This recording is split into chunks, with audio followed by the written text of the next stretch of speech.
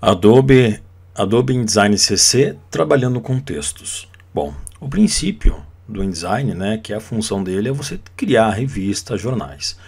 Até aqui eu estava mostrando para você as ferramentas para você ir se habituando com o programa. Não adianta nada vir já mostrando como é que faz, sendo que você não sabe como utilizar as ferramentas, tá? Mesma coisa que eu já te ensinar como construir uma casa sem que você saiba os procedimentos básicos aí das ferramentas e, e cálculos, digamos assim. Então é muito importante que você saiba esses procedimentos iniciais, que é o processo normal tá, de aprendizagem do, do InDesign. Então, olha só. Então, olha só. Nós temos aqui o T de textos. Tá? T de textos. Se eu deixar pressionado aqui, eu tenho duas formas do T de texto. Mas, como assim duas formas? Nós temos o Type Tool, tá? que se eu clicar eu preciso, para funcionar, eu preciso clicar e abrir um box, abrir uma caixa de textos. Quando eu abro essa caixa de textos, pode ver que aqui ó, muda completamente. Aquelas, aquelas ferramentas de atributos do objeto, ele já trouxe uma barra inteira só de textos. Tá? Então aqui está pronto para receber texto.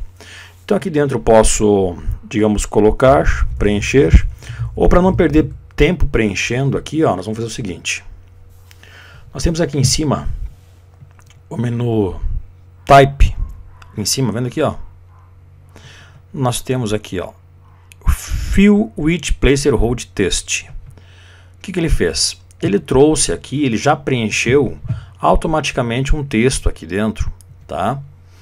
Uh, para que a gente não perca esse tempo digitando aí e tal. Então, é, na verdade, é um textinho padrão aqui do, do InDesign ok? Então aqui menu type, fill with placer hold text. Então ele vai preencher fill, vai preencher, vai pintar place, tipo, tipo inserir um texto de acordo com a largura do box que você tem aqui, tá?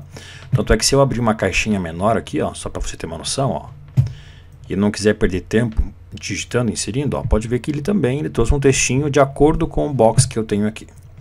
Beleza, então aqui está meu texto, tá?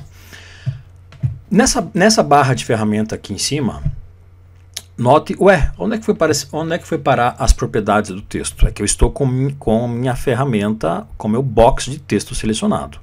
Então eu preciso dar dois cliques aqui, selecionar o texto, agora sim eu estou com a barra de texto selecionada. Ou se você trocar aqui, ó, ó, vendo aqui, ó, esse aqui é para parágrafo, formatação de parágrafo, esse aqui é formatação de textos, tá? Tem diferença? Tem diferença. Tem muita diferença. Então, primeiramente, vamos aqui à configuração do texto. Então, aqui nós temos o tipo de fonte, que é a letra do texto que você vai escolher, uma fonte de acordo. Nós temos aqui o tamanho da letra, o peso da letra, ok? Uh, o tamanho, né? Então, digamos assim. Aqui eu tenho, por exemplo, se eu quero todas em maiúsculas ou minúsculas, tá? Caps Lock, ok? Aqui eu tenho então a, também a opção de Small Caps. Ó, consegue ver? Mesma coisa. Aqui eu tenho o espaçamento entre as linhas, mais espaçamento entre as linhas ou menos espaçamento entre as linhas. Aqui é para fazer o texto de subscrito, quer fazer, por exemplo, alguma coisa ao quadrado, né? E aqui os, Aliás, aqui sobrescrito e aqui subscrito. Subscrito é embaixo, sub, sobre é em cima. Aqui eu quero se você quer sublinhado ou não, se você quer ele taxado, riscado ou não, ok? Aqui nós temos um famoso, tipo uma espécie de, de, de espaçamento entre as letras, né? Ó, VA, espaçamento entre as letras. Então eu vou reduzir aqui. Aqui nós temos, aqui nós temos uh, como é que eu posso dizer para você? Não seria a altura da letra, tá? É como se fosse o peso, tipo um negrito, se a gente olhar aqui, ó, dependendo do efeito que dá. Aqui sim, aqui tu consegue deslocar para baixo ou para cima, tá? Aqui, ó, é a largura, então ele deixa mais largo, mais estreito. É o espaçamento também. E aqui nós temos o, o inclinado, o itálico, né? É o ângulo de inclinação consegue ver aqui. Ok? Beleza, deixa eu voltar aqui. Aí nós temos aqui a cor da letra e aqui a cor da borda da letra, que nesse caso não, não, não tem, porque ele não é um texto simples, texto normal. Aí nós temos o alinhamento centralizado, direito, esquerdo ou o texto justificado à esquerda, justificado centralizado, justificado no padrão que ele força o espaçamento. Então, geralmente o mais utilizado é esse modo aqui. Tá, beleza. Isso aqui nós temos então a opção para, para o texto. Aí nós temos aqui a opção de parágrafo. Tá? Então nós temos a questão do alinhamento aqui à esquerda. Então parágrafo é referente à régua aqui, ó. Tá?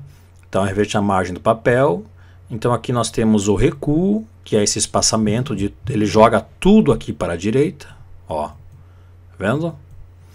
Aqui nós temos o recuo da primeira linha, que seria o parágrafo. Ó, preste muita atenção se tem diferença, tá? Então aqui, se você olhar o desenho, ele desloca todo ele para a direita, tá? Ou não, de acordo com o box de texto que você tem. E esse aqui, como diz o, a indicação aqui, é o recuo da primeira linha, ou seja, o recuo do parágrafo. O nível de parágrafo que você deseja fazer ou não. Este aqui é bem legal porque ele pega, deixa eu pegar aqui, ó. Vamos pegar aqui o, o deixa eu selecionar aqui.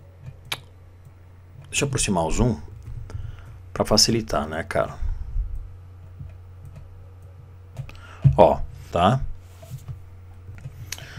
Então olha só, eu seleciono aqui e aqui, ó, no parágrafo eu tenho aqui o recuo da primeira linha, da primeiro, do primeiro caractere ah, para fazer aquele efeito de capitulação, capitular, que é aquele recuo grande, né? Eu até vou tirar esse espaçamento aqui, ó. Então eu consigo fazer a letra capitulada, tipo início de jornal. Uh, na verdade é para isso, né, esse programa. Então você consegue fazer esse efeito. E aqui é quantos caracteres você deseja que tenha, por exemplo, este efeito aqui. Tá? Então quantos caracteres você deseja que tenha nesse recurso aqui. Então um caractere Beleza, e aqui então determino o tamanho. Tá? E aqui, ó, deixa eu, vou voltar para cá. Ferramenta aqui, barra de espaço, eu consigo mover isto. E aqui, deixa eu voltar aqui, ó. E aqui nós temos esse recurso de colunas, tá? Se ficar, por exemplo, eu quero dividir aqui, olha, em mais de uma coluna, duas colunas, três colunas, por exemplo aí está.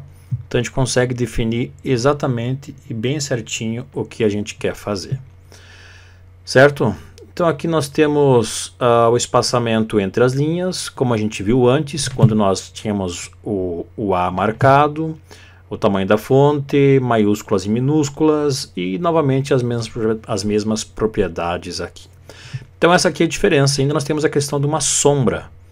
Aqui, ó, só que está muito, vamos deixar aqui pretinho, que é a parte de trás lá, né? Que é o box. É, não seria uma sombra, seria a cor de preenchimento mesmo do texto. Tá? Mas conforme a gente for trabalhando aqui com a ferramenta T de texto, a gente vai desenvolvendo mais a ferramenta. Ok? Então é isso aí, a primeira parte da ferramenta texto. Paramos por aqui. Continuamos agora na próxima aula. Grande abraço, até mais.